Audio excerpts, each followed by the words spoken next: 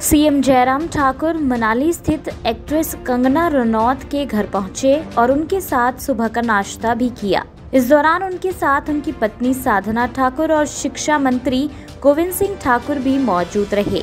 कंगना ने social media पर photo share करते हुए कैप्शन में लिखा, आज माननीय मुख्यमंत्री जयराम ठाकुर से घर पे भेंट हुई।